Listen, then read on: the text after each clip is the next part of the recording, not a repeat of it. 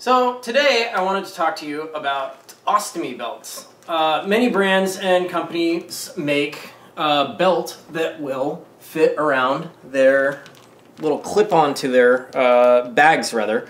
Uh, not fit around, just clip onto. Um, and I've found over the years of wearing these, um, they are incredibly helpful and awesome, and I find them to be pretty comfortable in fact. Um, there are times where the plastic, um, actually plastic in the back here can dig into your uh, your back a little bit, um, generally when you're driving, at least for me anyways. Um, but anyways, I also found that if you wear the belts too tight, um, I don't know if you can see here, um, it can actually lift, uh, I don't know if that's really working so much, but uh, if you wear the belts too tight, it can apply too much pressure on the side, pulling it back. And I found with the Hollister uh, belts anyways, it can actually lift the bag up off the wafer and do exactly the opposite of what the belt is designed to do.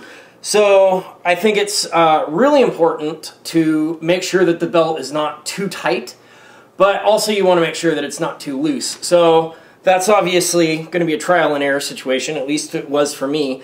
But once I do that, what I'll do is I actually will take a little needle and thread and I will sew it, uh, just a little, you know, little needle and thread, and I'll just sew it really quickly to the point where you can't adjust it.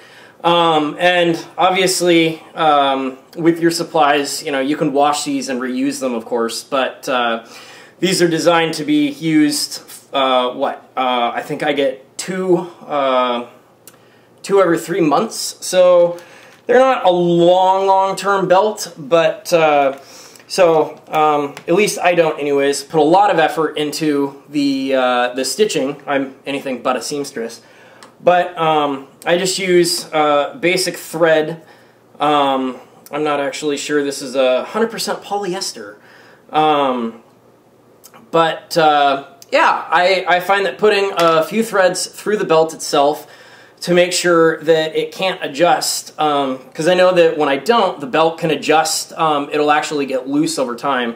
So I find that those uh, two little threads that I put through there um, keep it from doing that. And then in turn, um, it always stays at the right uh, uh, tautness and will not lift uh, my bag up off my wafer on the top and on the bottom of my wafer, which it has done and in turn will leak. So I just wanted to share that little uh, uh, tip and idea for you guys. I hope it works and I hope you guys have a great day and enjoyed watching and continue to watch, and I'll talk to you guys soon. Thanks a lot.